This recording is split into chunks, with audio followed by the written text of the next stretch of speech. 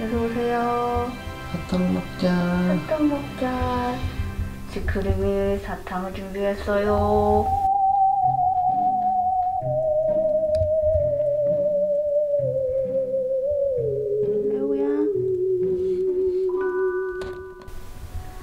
지크림이 주는 사탕.